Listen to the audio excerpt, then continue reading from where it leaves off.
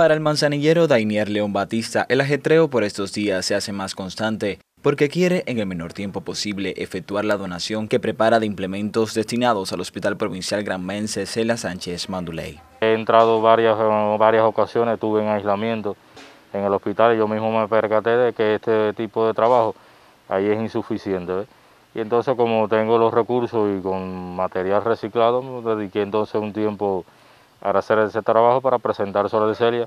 Las piezas han salido con el mejor empeño que premia la solidaridad en conjunto a los siete trabajadores de su taller, que incluye a soldadores, técnicos y pintores. Nosotros los artistas trabajamos preferentemente con el corazón, ¿ves? Y para el, para el, problema que tenemos ahora con el tema de la COVID, que lo viví hasta en carne propia, sí hay que tener el corazón para, para aportar y hacer cosas que no, no, nos hace falta bastante. Yo sé que hay más personas que pueden hacerlo, pero bueno, nadie se embulla. Yo ellos sí lo hice. Estos implementos hoy llegan hasta la sala de terapia intensiva, donde se atienden a pacientes positivos a la COVID. Sus usos recompensarán la noble muestra de jóvenes como él, que entregan sus esencias a favor de la vida.